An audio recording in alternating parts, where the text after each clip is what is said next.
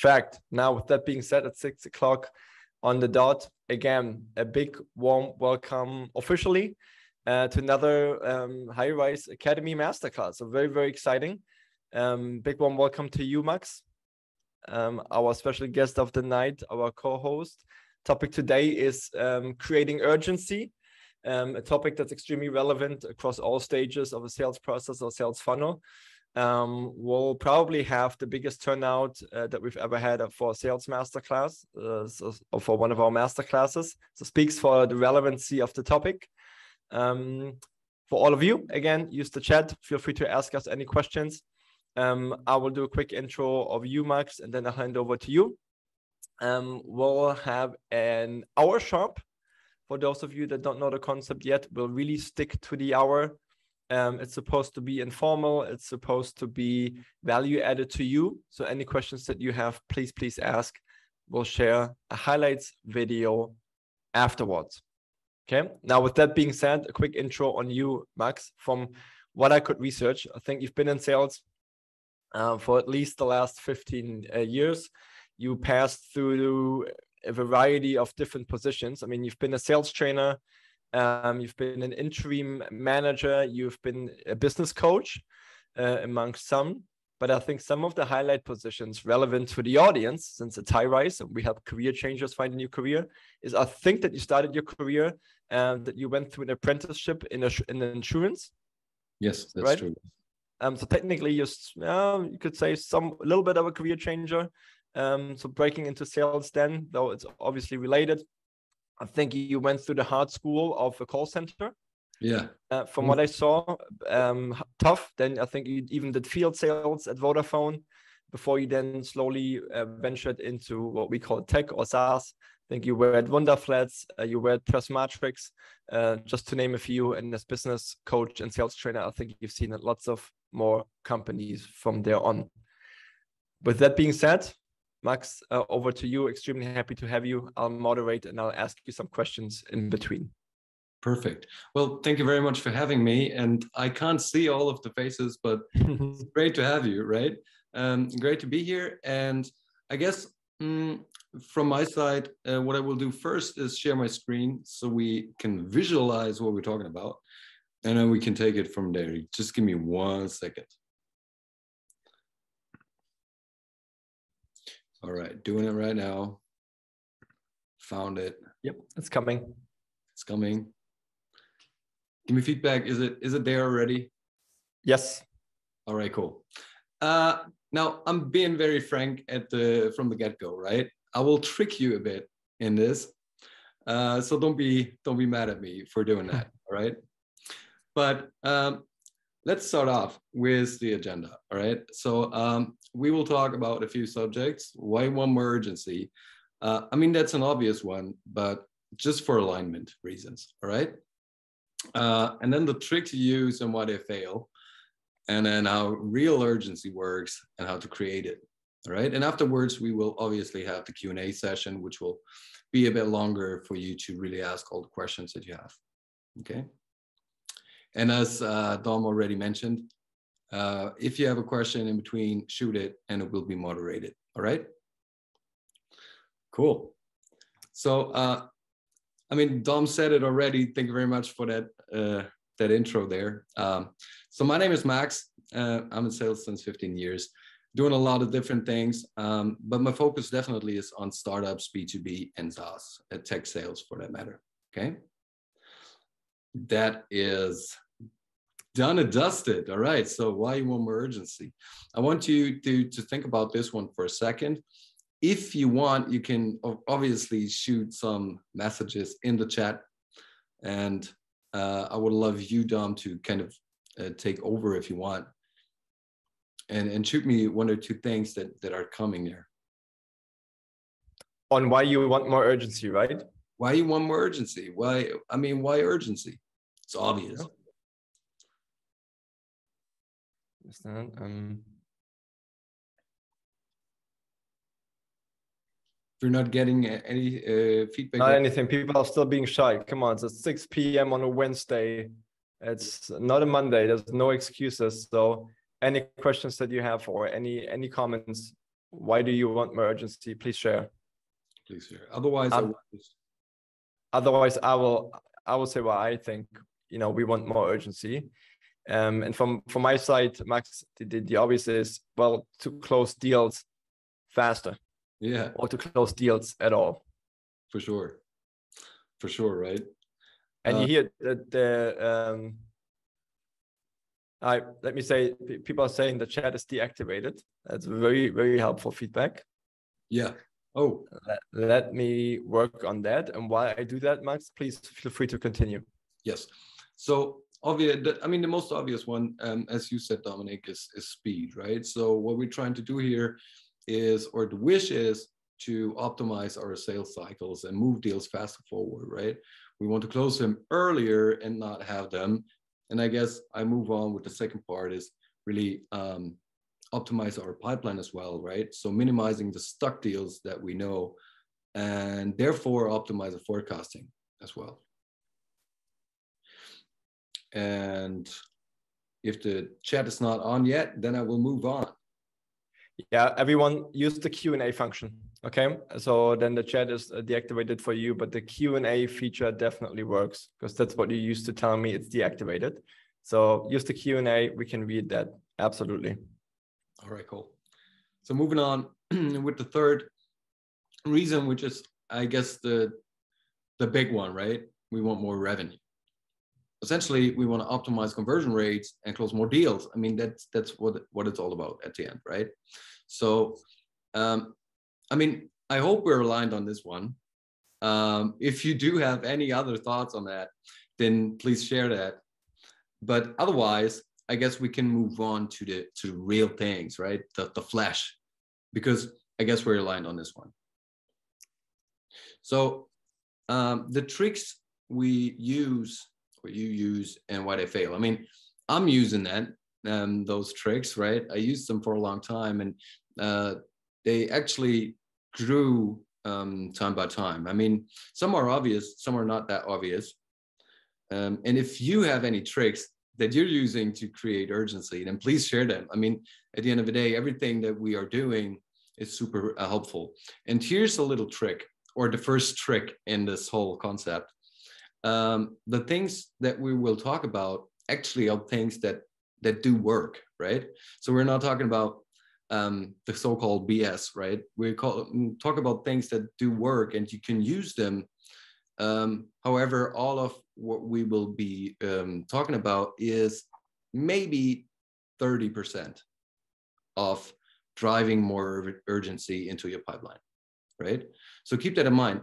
That's why that's why we why we named it the tricks you use and why they failed because it's only 30% of the game, right? Though they're helpful. Uh, move faster. When when I started uh, really working with pipelines for that matter, right? At the start, I was just going for everything. There wasn't even a pipeline. It was just a list and let's go, right? Um, but then when when I started to understand um, the game of pipelines and really having the need of closing more deals and being faster with everything, I, I figured, okay, uh, I just need to call them more often. And if they say call me back in a week, then I call you back in two days, right? So that that was my conclusion. That uh, helps for in in most cases really because uh, from my experience, it's like that. Whenever somebody says, "Please call me back in three months," they don't mean three months. They just want to get you off the subject, right? They they don't want to deal with it right now. So it's super easy to just go into the call and say, yeah, no worries. You want, want me to call back in three months? I will give you a call in one month. All right. And you can ease that off by being funny about it and saying like, hey, and if it's not ready yet, man, then it's good that we that we had this chat. All right. And I will back off again. But it gives you more opportunities. So this is one that that really helps. Just don't follow the path of the customer. Try to give it more of your own speed. All right. So the next one, oh, I was too fast. Sorry. uh, so, the, so the next one really is guidance, right? In all of what we do, what we need to understand, and I had a hard time doing that, right? I really was the guy saying like, oh yeah, whatever you do, I'm following your speed, I'm following your guidance, right? You're the customer, so and I'm not following you. And uh, but what really helps is setting up follow-up dates. I mean, you have you know that saying, right? Always be following up. Cool, but let them know, right? I will give you a call back that in that time, that in that day. So they know, right? Give it, give them deadlines. If you need something from your customer, give them deadlines. Really set deadlines, right? As give them to-dos. Um, and I mean, at the end of the day, all of that is really expectation management. The better we're at expectation management, both sides, right? The less friction we have in our processes. So that gives it a sense of urgency, of course, and it speeds up the process, right? And then we have the, the point of trust. Now, this is a pretty big one, right? Because the more trust we have from all the stakeholders in a company, the more likely it is that they will say, yes, you can solve my problem or fulfill my need, right? Now, what, what we're doing to create trust is obviously building rapport, right? There's uh, this leading and pacing thing. I mean, you can take it to the degree of really like shadowing them and mirroring whatever they do, right? But that's not really what I mean. I mean, it's just like trying to get into the world of thinking of your customer, right? Really build that bridge, that connection on a mental and emotional um, way to to really feel and understand where they're at right? Because what's really important to understand is is that whatever they do what they tell you is like 5% and you obviously if somebody you you know that right? Somebody is like super happy with you and then the next day they say uh I'm, i really can't be bothered with this right now please call me back in three months or whatever right actually what they most probably are telling you, I'm in a stressful situation right now. My boss got at me or whatever, right? I can't, I'm really, I, I'm not in an emotional state. And if you build enough rapport and you have enough empathy, which is necessary to build rapport, then you will understand that and not be guided by that, but then re-guide, or as, as the guidance said, right? To really go the next step and say, hey, I'm backing off for today. I understand you're in a stressful situation right now. Let me give you a call back tomorrow. Right? Everybody understands. So, and I guess what, what helps as well with building trust is uh, references, case studies, and all that good stuff, right?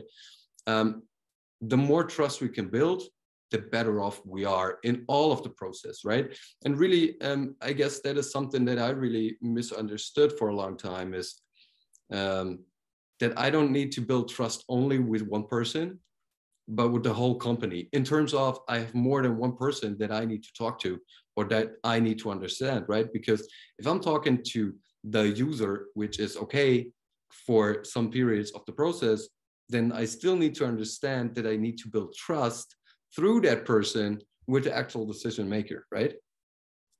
So in everything I do, I need to follow that as well and ask the person that I'm talking to, what can I do in order to present the information the way that the decision maker needs it, right? Which builds trust because if you are the star in providing information, then that builds trust as well, right? It gives confidence because you're perceived as an expert, right? Cool. Max, can we can we stop here for a second? Um, yeah. Two questions, because the things that you say uh, make a lot of sense on all levels. Now, somebody that might just have entered sales is thinking, all right um let, us start with guidance okay let, let's get very practical down to it i'm just getting off a call a discovery call i had a good call i have the feeling you know i, I nailed the pain point and there's good rapport um and then i'm just new to sales i'm an sdr how am i giving a customer homework you know i think many people hesitate uh, what that is just like they hesitate to name the price at some point later down the sales process and what they're shy about but do you have an example of how do you appropriately give a deadline or build expectation management um, to make sure you create that urgency or that micro commitment? Yeah, I guess um, what what really helps is to communicate it in the call already, right? Um, for instance, if you had that go call, then the next obvious step will be to discuss when we would chat the next time, right? It really depends on the product. But in, in some cases, like for uh, Pressmatrix, right? We needed information on what kind of uh, um, magazines and stuff they had to uh, get an idea. And in most cases, they didn't even know because they had more than one branch, right? So I needed that information to even move the con conversation further, and they needed to gather that information. All right? mm-hmm. So what I did was, I'm gonna give you a call in one week's time. Is that realistic that you get all that information up to that point? If yes, then I would write that in the email, which is the follow-up email, just saying, hey, it was a super nice conversation. As we discussed, we will have a next conversation on Tuesday, then at that time, right? Please prepare all the information up till then. Otherwise, we can't move forward. Perfect. Perfect. And I think what that does, right? I think translating it is you're securing micro commitments from your prospect, right? By by you saying, is that right? Is one week's time enough time? Yes, it is. You know, it's the micro commitment, and there's something like dissonance theory that people don't want to break with, right? So you you probably increase the chances that they don't want to break with their own word, right? Psychologically. So so understood. Great. Second question is trust. And uh, people on the call may think, "All right, trust. Everyone talks about trust, but how in the hell do I create a level of trust when I just have two, three, four interactions with a prospect. Usually I followed up with them, I cold called a couple of times. I, I moved them down uh, through my sequence and now I have a first real call, which, which is a discovery call. How do you establish trust? Is there any any tip or is it just being empathetic, finding the right wording, the right level? How do you do that on a day-to-day basis? Yes, I guess what you what you said at the end mm, is very true, right? Like finding the right words, being empathetic. I guess a very uh, important point is being authentic about it, um, right? Not being salesy. I guess that mm-hmm. that's the most important factor, right? Um, and just communicate as as you are as a human being. Uh, what I always say is, and that that really does it for me, right? Um, I never look at um, Paul, the CEO of any company that I'm going to call, right? It's just Paul. You see, I mean, the ICP is a strategic thing that we need, but it's not about the sales call. So I always perceive the person that I'm going, going to call and understand for myself, hey, they're wearing boxer shorts maybe right now because they're in home office, right? Or they go clubbing or they go partying. They have the bar- barbecue with their family, right? So it's a regular human being. And so I, I'm going to call them as if I would be calling my best friend. Easy mm-hmm. going, right? And not pushing too hard. If somebody is giving me the information on a non-verbal level, I'm stressed right now, then I can pick that up, right? And say, hey man, I'm so sorry that you're feeling stressed right now. I'll give you a call tomorrow. There's yeah. nothing better than building trust or for building trust than backing off for a 2nd mm-hmm. Perfect. Right? Because Great. it makes sense. If they say, I don't want to talk to you right now, there's not really the chance. But if you back off and call the next day, it's so likely that they will say, hey, this is not a super salesy person. They don't want to push me. Right? It's more of a consultative approach and a very, very human approach about calling. And I guess that is the easy or not easy, but the quicker way instead of learning all the NLP, you know, leading and pacing stuff, right? Which is super strategic and like micromanaging your own um, way of behaving. I guess the, the better way of, of doing it is just be a human being and be friendly and, and have a laugh, right? Yeah. So it's about mindset, right? Pre-call mindset or, pre-meeting mindset that you set yourself that that's a human person that wants to be treated like a human and, and not like a sales machine. Great. Uh, one question that that arrived uh, is from Ron David. Thanks for sharing. Um, you said you know following up sooner than agreed. Your very first point, move faster. Yeah. Um, and then with what you just said on building trust, what if I am afraid that I might annoy the customer? Um, that I'm following up faster than he said he needs time to to check something up internally. Is there a danger that you can follow up too soon? No, I guess not. Because at the end of the day, look, um, there's two scenarios, right? The first one is that they tell you, let's say three months, right? And you tell them in the call, hey man, three months is cool. I'm going to give you a call in one month. All right?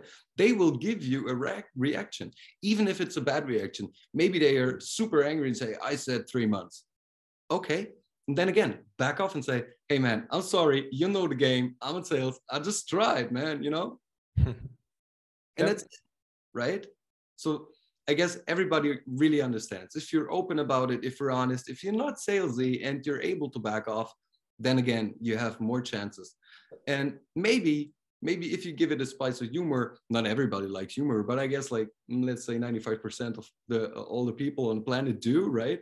So um, i mean if you give it some spice and say hey man i know you said three months but you know it's my game to sell you the product so therefore let me give you a call in one month all right? And even if you don't like me calling at that uh, particular point hey man i'm just going to ask for the weather and back off again. Perfect. Great Um, if there's no questions right now, let's move on to the next point. Perfect. All right. FOMO. We all love it, man. Fear of missing out. Now, I guess this is something that really can work and it, it, it's super helpful um, to commu communicate any cost of waiting that you can put into numbers or limited project capacity. Now, let's be frank, right? For most products, we don't really have a limited project capacity, right? But what we can do is kind of work around it. As I always say, we're not lying. Never ever we do lie in sales, right? Because it's falling on our feet. Because the real goal is second money, as you know, right? Upselling. Cool. But you can only do that if you have enough trust. So therefore, never ever lie, please. But what you can do is bend the reality a bit right?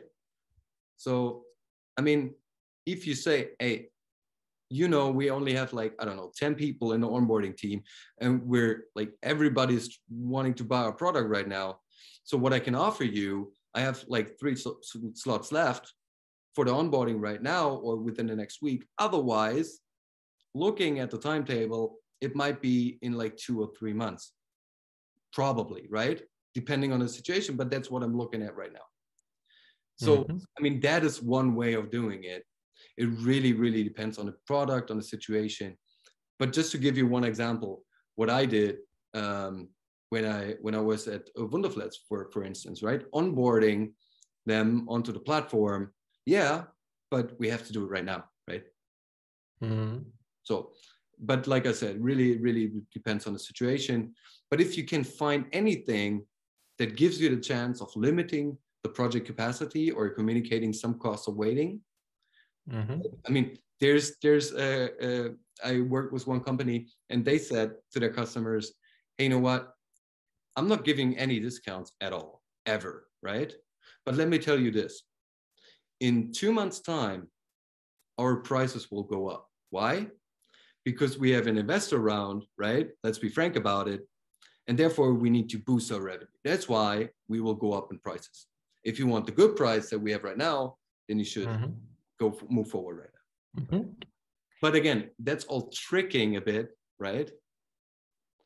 And it's not doing a full job. Just mm-hmm. to repeat myself from the get go, right? Uh, Max, one, one question that came from uh, Katerina, thanks for sharing. As a trick she uses uh, to create urgency is something like FOMO, right? Coming around with limited offer and, and, and a strict deadline. Um, so on deals that you want to move fast, need to close ASAP, there's something like, hey, only valid through tonight or you know through tomorrow or Wednesday. What do you think of that? Well, I guess there's um, there's this gap between, and I guess all of the or a, lot of um, salespeople actually do that, right? Hey, I give you this offer, but it's only limited. If you don't close deal with me in the next two days, then you don't get the good price, right? Now, the problem here is that we all know, and the customer knows, that in most cases, let's say 99%, that's a flaw. Because if the customer doesn't buy within, let's say, two, three days, but comes back after seven days and say, now I'm now I decided I want to have the product, you surely, if the customer say, can I still get the price? You surely would say yes, right? And the mm-hmm. customer knows as well. So I guess if you have uh, the power within you to say two days, and after that it's gone, and then after that it's really gone, then yes. That, I think that's a key point, right? Yeah, exactly. You need to be you need to be willing to follow through on that one, right? So otherwise, you probably lose credibility uh, in the face of that customer. So uh, it, it doesn't have to be gone drastically, but it, at least it needs to be different, right? So that you say, hey, again, back to trust. I can trust that person's word, and when they say limited offer, then it really is a limited offer. Yeah. Yeah. At, at least saying no, right? Once to that and then saying hey man but you know what i really like you let, let me go to my ceo and see what i can do right perfect that's a fair, fair one. But if you do it then really be hard on it. Great. Cool. I hope that answered the question to a degree. Yeah i think it did. All right. Uh, only for you. I love that one. Um, whenever you create a personal commitment especially in a later or um, late stages, right, in the closing phases, um, just like I mentioned, let me go to my CEO for you. All right. Usually, no, but I will do everything to make this work for you. Um, mind you, right, we're losing revenue if we give you a discount, but let me try. But if I go up to my CEO and tell him you're interested, but only with that price, man, then you have to sign. Otherwise, I'm losing my face, right? So that mm-hmm. is like interpersonal stress that you rise in there.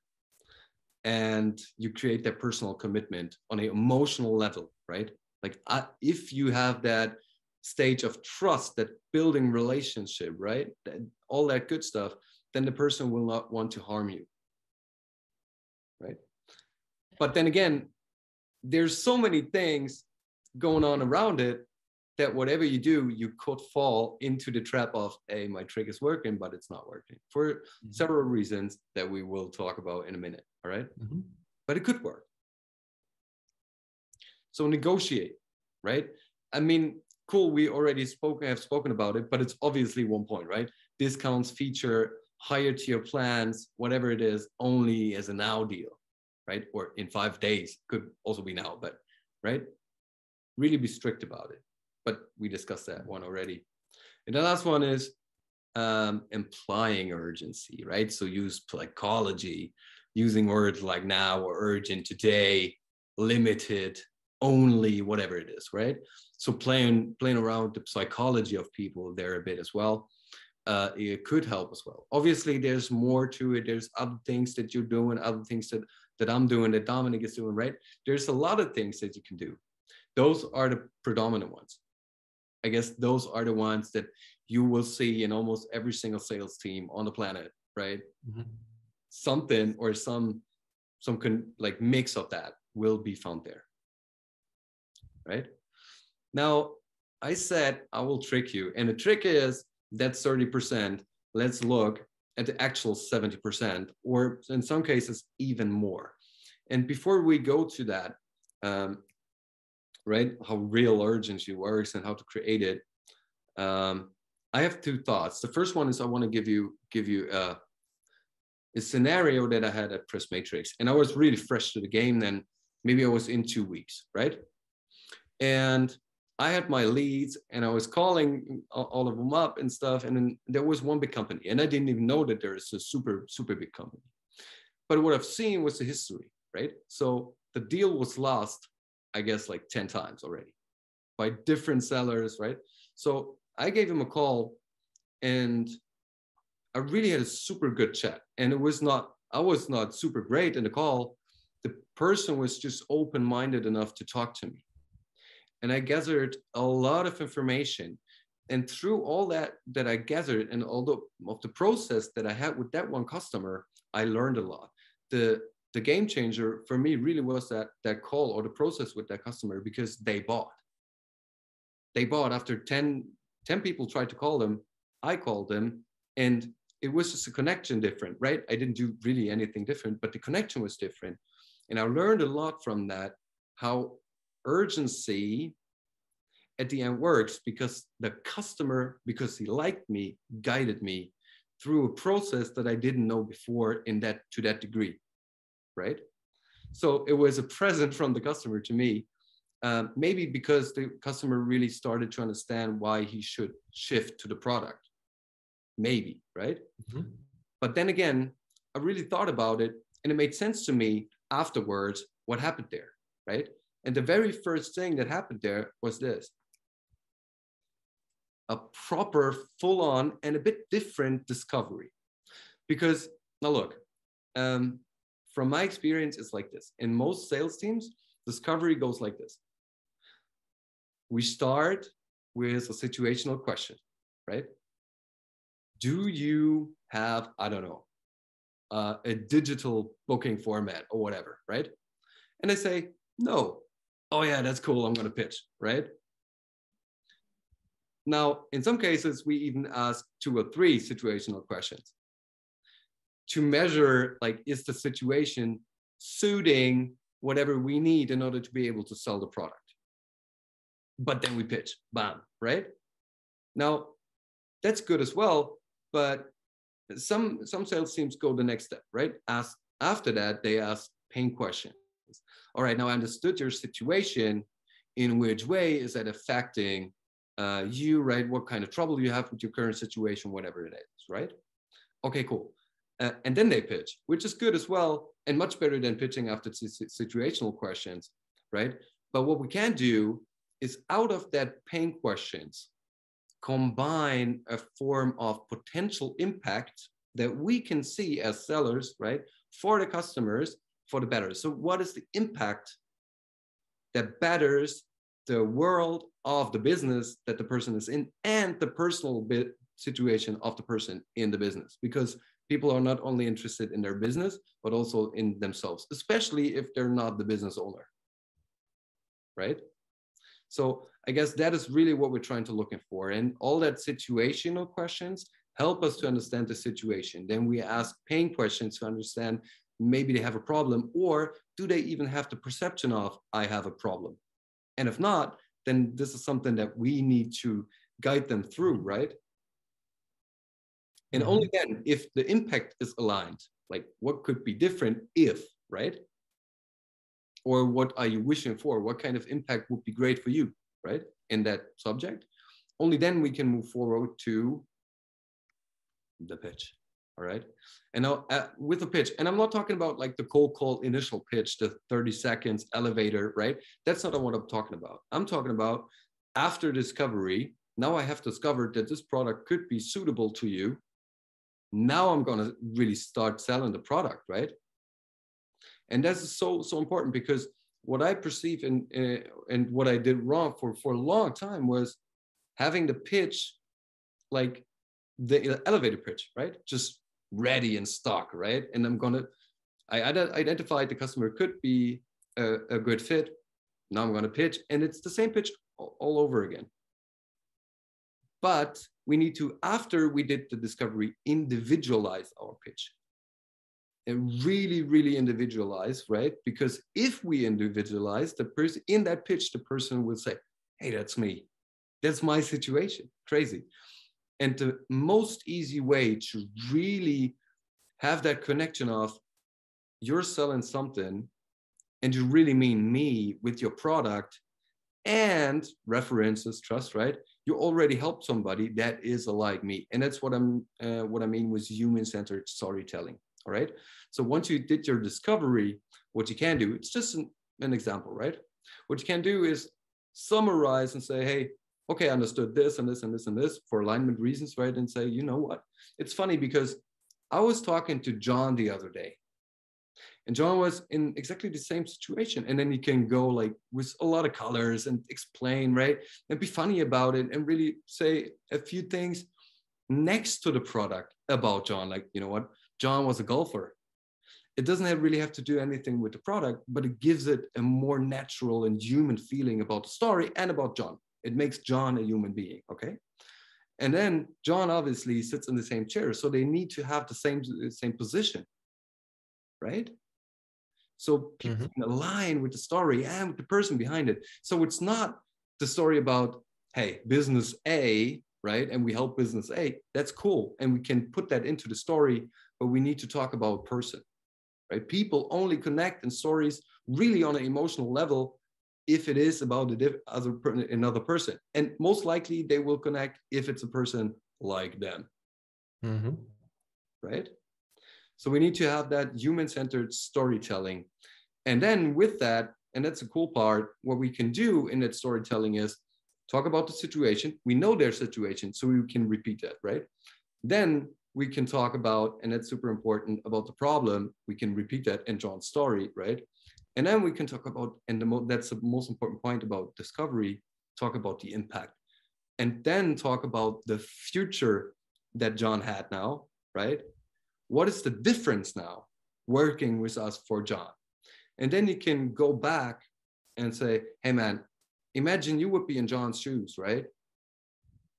In which way would you feel different? In which way would your work life be different? In which way would that impact your business, your personal life, whatever it is, right? I mean, in which way would that be different if you would be experiencing the same things as John? And they already connect to John because they John was in the same situation, so they can start to connect to the story of the impact, the final bright future that you're mm-hmm. offering. Okay. So I guess that is something that really, really helps. And by the way, um, and I guess that is super important as well. What we tend to forget is that discovery is not the discovery call. It is obviously part of it, and it's a big chunk, but we need to discover and rediscover all the time, right? Because the business shifts, especially, I mean, we're all startups in most cases, right? We know how fast paced that environment is and that counts for customers as well. So if our sales cycle is, let's say, six months, a lot of things change in the meantime, right? So we need to keep that in mind and always uh, rediscover and say, hey, man, is that still true? Is that still the way we, we want to go? Is there maybe a different team lead? Do you have a new CSO? Whatever is going on, right? You need to take that into consideration and always like ask the customer, is that still true? What has changed, right? it gives you the chance to really oversee their situation and what's really going on and you don't fall into the trap of oh i didn't know mm-hmm. right now the deal i was so sure i would get the deal but now something changed right try to gather that information over and over again. And everything you call like hey man last time we spoke you told me da da da da da. Is that still true? Alignment right? Very important. And then you can pitch alongside. Um, okay, and the last one, and I guess this is really really important because most deals in uh, from from my experience get stuck for the qualification reasons, and I'm not talking about the pre-qualifications uh, in, in terms of all right, they need to fulfill A and B, and if they're not A and B, then we can't sell the product to them. All right. So let's say we can't sell a HR tech to them if they don't have any employees. I don't. I'm not talking about that, right? I'm talking about the qualification in a multi-dimensional way, which basically means uh, like MEDDIC, right? I don't know if you, you know MEDDIC, but most uh, sales teams, especially SDRs, use BANT. That's like the most common one. I'm not the biggest friend of BANT, really, especially in early stages, because budget. Um, we had like two conversations. How could we talk about budget? But that's my personal view, right? However, qualification is something that also um, follows the, the whole pipeline, right? You don't do it once, you do it over and over again. But if you have a deeper qualification method like MEDDIC, what you will start to do is not only understand like need or like budget or whatever or time, you will understand like, is this the person, the person I'm talking to, is that the person signing the contract, which is important. But there also could be not, not the person signing the contract, but the decision maker. Or they're not neither of, of those, right? But they really love the product and they need the product for their team. So they would push it into the company. Then they're called the champion, for instance, right? Um, and there's different like types of persons within companies that you could qualify and understand who is that person and who else do I need to talk to, right? Mm-hmm. Um, maybe what's their buying criteria? Like, do they have criteria? Does a company needs to have a certain? I was talking to, for instance, with a company, and they said, if you are not having X amount of revenue, um, right, per year, then we're not talking to you. because for us it, it was Panini, I guess, right? Super big company, and they said, "Oh, oh well, it's startups. We're not working with startups, right?" So look at their decision criteria. Try to understand that. Maybe maybe they have like a, a buying center. That really is not helping with any kind of urgency. But if you know that, then you can at least like try to have an impact on that to any degree. But if you don't know, and you believe the person is signing the contract, but they're not signing the contract because there's a buying center, you're missing that that opportunity of maybe even calling the buyer center saying, hey, did you get that? Do you have any further questions? Do you need anything else from me? Right. So I guess that is so, so important to understand the whole game and really go deep into how they operate, what is important to them, who else needs to be talked to. And this is something really, really important. If there's more than one person deciding the game, talk to all of them. Talk to the peers, talk, I don't know, talk to friends, right? The more people you call in a company, the better it is. Everybody's saying to me, oh, well, you know, they will get mad, I don't know, like pissed off, if I can say that, right? Because you could talk to all of them. Well, I mean, it's your job really to like network into the company, right? And for me, if somebody's saying to me, yeah, well, I have to talk to the boss, I'm saying, okay, cool. What's exactly the name of your boss? Ah, oh, got it, cool, right? And then I'm talking talking to the boss. No one will be ever angry for me talking to the boss unless they said I want to talk to them directly, right? It's a bit of a trick situation, but you can maneuver around it, and it's better off having the direct chat, right? Even because you don't want to take the the food off the plate from the person that you're actually talking to. But what you can do is talk to the boss and just for a second say, hey man, you know what? I was talking to Mark, Mark, your colleague, right? What a good guy. Wow. I'm talking to him about this and his product, and I just wanted to give you the feedback. Hey, this is a super nice colleague you have. Cool. I hope my, my email finds you well. Uh, shall I put you uh, CC? Mm-hmm. Simple. But they heard your name, they kind of have a good feeling about you, and you're allowed to send the email CC so it goes directly to the leader as well. So, Max, just to making sure that you know I heard it right. So, in other words, the key to creating urgency lies in discovery, right? And doing a good deep discovery. Or in other words, if deals fall through or a prospect is ghosting you, I think it happened to all of us uh, it probably is because you didn't do your job good enough during discovery, right? That, that some triggers um, that you thought you understood, you, you obviously didn't understand because otherwise the prospect would have felt the urgency organically, right? Yes, absolutely. And and part of it is qualification because um, I guess for a lot of deals that I thought would happen and didn't happen, and I took a took a long time for me to realize that I just didn't qualify good enough as well, right? Because I was talking to somebody I believed to be a decision maker, but wasn't, and then I didn't got objections, but I hmm. got pretext. Yeah. Right. And we is, always is, perceive objections as pretext, but they're not in most cases. Yeah, that's perfect. And I mean, that's a whole different masterclass, right? And as with anything, right? Most errors happen in in discovery phase, right? Let's call it the discovery phase, uh, which is the most important. Now, I think especially more more junior people to sales. Um, well, let's look at how discovery calls, the first real meaningful interaction, right, that you have, how they come about. You either schedule it yourself, through a very quick interaction, be it a cold call, LinkedIn, email, or you've been scheduled that interaction. Mm-hmm. And the prospect may not even remember anymore. What was the company again? You know, um, especially when it's too much time between the first interaction and the call. And I think many feel the urge of, I first need to give something. And then they immediately maneuver themselves into that pitching situation, you know, versus leading with questions, which can also create value. But do you have maybe a hint or two for people listening? How then do you do that in discovery? You know where the prospect is expecting to receive first you know? How do you create the trust with just asking questions? Or do you quickly say again what you do and then you move to questions? What what is your own take on moving into discovery? I guess for me um, yes we need to set a baseline of like what will we be doing right? Expectation management Now we're in this call. This is our subject. This is why we, why we have this conversation, right? What I'm trying to do is understand your situation, right? What we need to do is uh, get a mutual understanding. I will give you all the information about the product. I will show you the, I give you a demo, whatever it is. But first of all, I want to understand your situation, how you feel about it, what you actually need, right?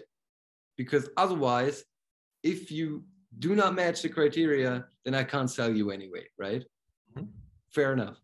I guess that is that is something that I prime, right? At the start of of a demo call of a discovery in in order to get the ball right.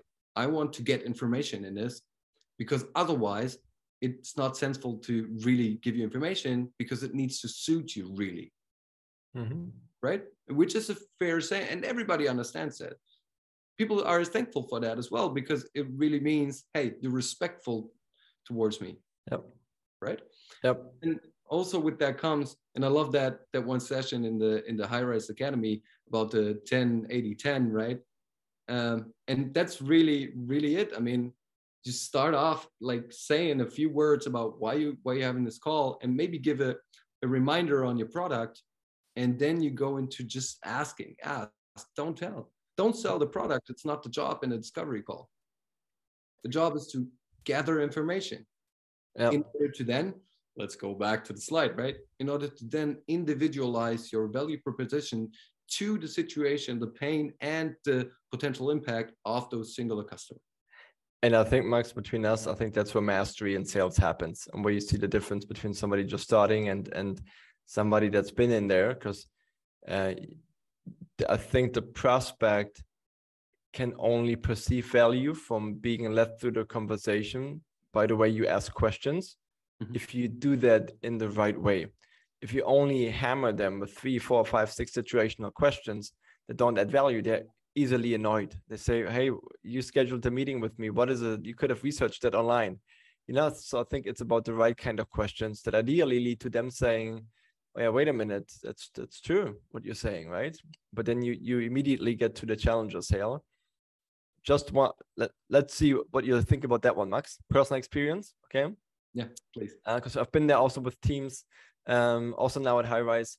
How do you get into discovery comfortably as a relatively junior person, but still having established trust so the other person gives you the time of day in listening and answering your questions? And what we do is uh, after we establish the agenda while we're in the call, we create context by telling a story quickly, a minute, saying, so dear customer, let's say it's a SaaS company, you know, we work with, you know, we just last week I talked to, as you said, Michael, also a head of sales. If I talk to head of sales at SaaS company ABC, that had the problem of didn't find enough salespeople, onboarding was difficult, didn't have the resources. And here's what we helped him do just quickly. And that is exactly where Hyrise comes in. That is the use cases that we have. Does that make sense to you?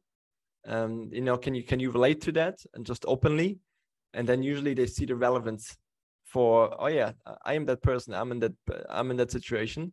It was quick, right? 30 seconds. And then they get the, let's say, the permission to enter into discovery and really take the time of day to deep dive into it without having to pitch again. Yeah. No? What do you think about that one? Uh, I like that approach, right? I mean, creating context is super important. Um, and then next to that, obviously, if you have a story prepared, a short one that brings that context, that is super. Even though um, if you repitch later with all the information, you can then really nail mm-hmm. that it's really really them in the, yep. in the story right so i guess but but the pre-story is super good to like get the ball rolling uh, and really make them understand why we're having a call at least give them the context yep. right perfect S- super I, I love that approach yeah yep. great cool um i guess we're kind of done with the with the uh, wow. So I'm I'm really looking for for all the crazy and and uh, super bright questions. um, because I guess um, the the format, as as Dominic uh, explained to me, is really living from from that interaction and, and the Q and A. Absolutely. So, any questions that you have, all right? I mean, we've said a whole mouthful now on qualification, and you may think, wait, I thought that's a masterclass on creating urgency, but yeah, I think that's the secret, right? It, it, it, errors happen during discovery, and you not having either established rapport, having found the impact, and not having created the urgency because of that, or not having qualified correctly. That's why deals follow through, or fall through, uh, not follow through. Um, so any questions that you have, please, please share, hammer them at us. Anything that comes to your mind. One question that came um, a little earlier, Max, it's not completely related. I want, want to ask you because I promised it to Isa. Yeah. Um, so, earlier, last slide, okay, you said, you know, be human, humor comes a long way, great. Then the question that came as well, humor works great in the US or in the UK, but in DACH or Germany, really? Can does humor go a long way? How do you do that without coming across forced? Yeah. Uh, look, I guess there's there's two things about it, right? I mean, there's something called uh, cultural differences. Okay, obviously, uh, we have to call differently in in the U.S. than in Japan, right? But Western countries, as we are in DACH and obviously US as well, right? They kind of have the tendency to be somewhat alike, right?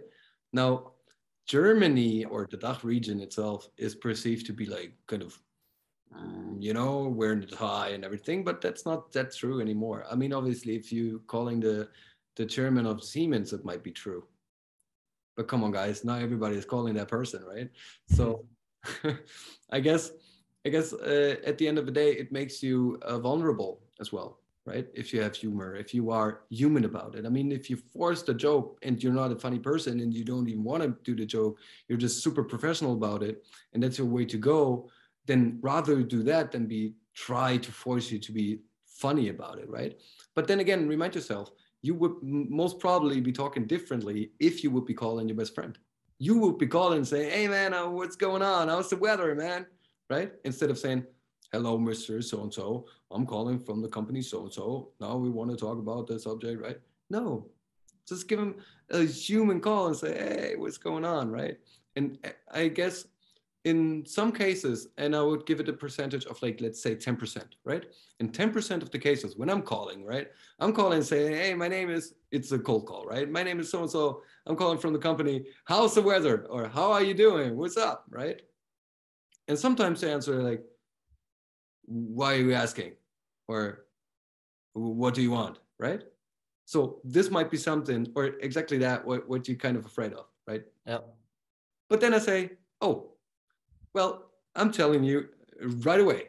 I'm look, calling you because of da da da da da. Why? Because they gave me the information of I don't really have time. I'm stressed. I'm not into like conversations like that. Cool, right? I take that as information and then I move on. But I move on in their pace. If they don't want to do the jokes, if they don't want to ask, have the question of like, right? Then I just maneuver to whatever they like because it's not about me, right? But I like to be happy in the calls. And 90% of the people that, I, that I'm talking to as well, and it really lightens up the, all the conversations from the get go. The very first conversations are so more natural and so much mm-hmm. nicer, right? Even if they say, no, no, no, I don't want it, it's in a more nice and, and, and friendly way. And it makes my job easier because life is easier if you just have laugh with people, right? Totally, totally. Plus, it needs to happen in the context that you are, right? You, in your authenticity as a person, everyone might live humor differently, right? So be authentic about the way your humor is. Yeah exactly. Um, cool, perfect. Then another question that came very early. Now is the right time to ask. Um, urgency, something you create or something you uncover? Mm-hmm. Um, I guess looking at, at everything that we covered, it is 30% something that you can create, right? And 70% something that you uncover. Because let's be frank, if the person discovery doesn't really have the situation or is in a situation that they really need the product or want the product or whatever, there's no chance, right? So you need to uncover that need, that wish, that whatever. Okay. And then you need to address or connect your product to whatever you uncovered with the right pitch, individualize, right? Otherwise, they won't understand how you can help them on an individual level. And then the last part is uncover their metrics for making the decision, because otherwise, the decision most probably won't be made. Mm-hmm. So it's, I guess, a game of 70% uncovering stuff and matching whatever you do to the individual situation and the tricks that we use and why they fail, right? Mm-hmm. Perfect. You know, I've, I've read on LinkedIn, uh, um, interesting trend that some companies now are, are mixing or considering mixing to move to, to quicken up the sales process, the discovery call with the demo. You know, when you instantly find a pain point and you feel, man, that person, you know, would benefit from that product, you instantly show them so that you save the next touch point and you shorten the sales cycle. What do you think of that? Or do you think ah oh, no a quick a proper discovery needs to take proper time yeah. Uh wow. I'm, uh, I'm gonna get hate for this one. But look i'm my position is like this. Uh if you are able to pre-qualify at least the scenario that they're in in order to understand is that maybe a scenario where we could help right in the first calls super but you don't need a full-on discovery call. Really depends on the product. I had um, companies that have like 40 questions mm-hmm. that they need to understand first in order to even move forward with uh, anything, right? So, but if you're not in that specific scenario, then I would say yes, match it, right? Do do both. I mean, what you can do, I wouldn't split it for the matter of splitting it, right? I would connect it and have that discovery call and I mean, you're blocked time of their calendar anyway. So if there's time left, then go for the product. But I wouldn't go for it. I mean, because my per- personal opinion is uh, that most product demos are way too long, are way too detailed, right? But if you do it like right after the discovery and it's part of it, it's so super fresh what the person is talking has been talking about that you can connect whatever they said to certain points of the product mm-hmm. right? So you don't show all of the product in every single shiny button. Yeah. You show exactly whatever exactly. they have been talking about their certain use case in that scenario. Yep. Right. And then you can still add, hey man, we have so much more to offer, right? And I always say like, hey man, we have 200 uh, of the shiny buttons. I can show you all of them, right? Uh, if you want that, let's have another chat, right? Let's do another meeting for that. Um, but please tell me, are we at the point of going moving forward, or do you want to see like the whole product? And never ever somebody said, I want to see the whole product. Yeah. Ever. One time, ever somebody said, I want to see every single button right now, right? Because they obviously understand that there's more to it and they have the onboarding phase and they have to learn the product and so forth, right? But they need to know the value and the value needs to be individualized. So for that matter, and it makes life easier for you because you don't have to remember it or write a super long history. Yeah. Uh, do it in the discovery. Perfect. Yeah. Last question, Max. Please answer shortly. Okay. I also forces you to think about that one shortly, and because we have one minute left. Uh, have you ever made a big mistake trying to create urgency, maybe in the earlier days? And what was it? Yeah, uh, more than one time, right? pushing for the deal. Whatever you do, if you go salesy on it and say, hey, you have to uh, really sign the deal now and we need it and whatever, right? Every time you get really hard pushy and there's no pull anymore, then you, lo- you lose the game because then people back off because they perceive you as a pusher and lose their trust. So this is something for for some years, I guess, uh, I really the wrong because I had the internal urgency of I need that deal, and I forced that onto my customer. I guess that's the biggest mistake I made. Whenever I push too hard and lose that pull, that the customer is still like having a feeling of, hey, we have the dance, then I'm losing the deal, man. Perfect, because I think that makes sense for you, but maybe not for the customer, right? And one thing, uh, if you do your discovery well, ideally find out what we call trigger events, right? Or so what do they need your solution for? Is there a deadline because they need to fill a position, because they need a project in place, because otherwise they don't get their raise. And if you know their deadline, you can create urgency also by saying, hey, if I understood you correctly, you need it in place by X because you need it for Y. If that's still the case, please let me know. Then we need to re- remove the roadblock now. That makes sense for them. That may create urgency, right? By by experience. But that summarizes, I think, well from what I take away. Max, thanks a lot. Uh, the key lies in discovery and qualification, right? Only if you really uncover the levers on impact on the business and personal level, on what your solution might mean to them, what their current status quo means to them, then you really only know potential blockers that might come up and things that need to be in place uh, for the deal to come through. Yeah, and and on that matter, thanks so much. Really enjoyed talking to you, Max. Uh, we'll share um, the slides question mark. Yeah. If you if you're open to them, um, Max, then please let me know. Then I'll share it with this round of attendees. Um, we'll also share the highlights video um, to all of you as part of our alumni network. You have access to the full masterclass afterwards on Hyrise Plus. So thanks a lot, uh, all of you, for tuning in, for taking that hour out of your night. Hope you all have a nip, you know, like a like a nugget or two to take away, uh, to implement. And again, thanks to you, special guest Max. Really enjoyed it, and I'm sure we'll see you around again. Thank you ever so much for having me. I hope I could give you one or two bits of value. Thank you. Perfect. Thank you. Thank you. Bye-bye. Bye.